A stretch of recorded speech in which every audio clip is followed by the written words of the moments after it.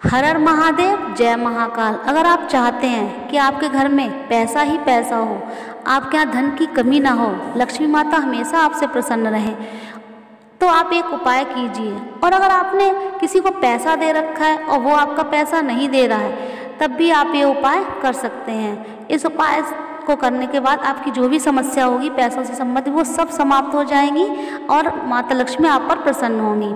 ये उपाय भी हम गुरु जी की कथा से सुनकर ही आपको बता रहे हैं। इस उपाय में आपको क्या करना है कि आपको एक पात्र में जल लेना है, चाहे आप स्टील का लोटा ले लीजिए, आप चाहे तांबे का लोटा ले लीजिए। और आपको पाँच बेलपत्री लेनी है। बेलपत्री आपको बिल्कुल साफ़ सुथरी लेनी है, बिल्कुल कटी फटी कहीं से ना हो। और एक सफ़ेद फूल लेना है। ध्यान रखिए, आपको एक जल में, एक लोटे में जल लेना है, पाँच बेलपत्री और एक सफ़ेद फूल लेना है। और उसे लेकर आप किसी भी दिन शिव मंदिर जाइए और उस शिव मंदिर में जाकर आप शिवलिंग पर जल को समर्पित कीजिए। अपना जो भी आपकी परेशानी है, जो भी आपकी समस्या है, बाबा से विनती करते हुए आप जल को समर्पित कीजिए।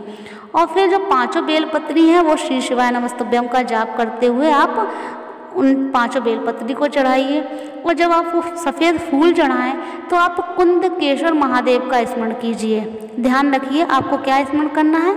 कुंद केसर महादेव का नाम स्मरण करना। इस तरह से आप पूजा कीजिए और भगवान से आप, जो भी आपकी समस्या है, उसके लिए आप विनती कीजिए। इस उपाय को आप 21 दिन तक लगातार कीजिए और आपकी जो भी समस्या होगी वो सब समाप्त हो जाएगी। चारों तरफ़ आपके पैसा ही पैसा होगा। आपका जो भी कारोबार है, जो भी व्यवसाय है, वो बढ़िया चलेगा। और अगर आपका पैसा किसी ने ले रखा है, वो आपको नहीं दे रहा है तो वो भी आपका पैसा दे देगा इस उपाय के बाद। अगर आपको वीडियो अच्छी लगी है तो प्लीज़ वीडियो को लाइक करें और चैनल को सब्सक्राइब करें। और कमेंट में हर हर महादेव ज़रूर लिखें। हर हर महादेव, जय महाकाल।